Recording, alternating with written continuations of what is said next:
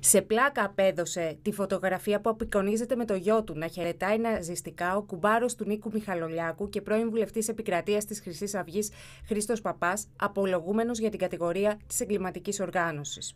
Είναι προσωπικές φωτογραφίες πριν από 40 χρόνια. Είναι προσωπικά δεδομένα. Δυστυχώς δεν τις είχα διαγράψει. Υπάρχουν και φωτογραφίες από το 2009 που είστε στον τάφο του Μουσολίνη.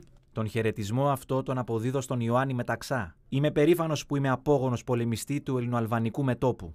Υπάρχει φωτογραφία που απεικονίζεστε με το γιο σας, μικρό παιδί. Είναι προσωπικό μου δεδομένο. Πλάκα κάναμε.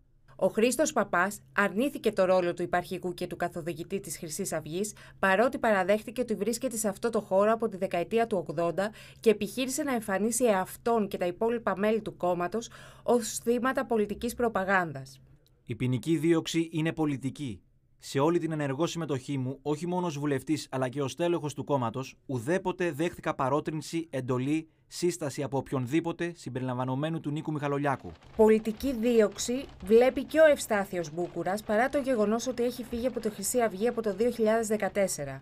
Ο κατηγορούμενος μάλιστα απέδωσε την εμπλοκή του στη Χρυσή Αυγή σε δεύτερη εφηβεία.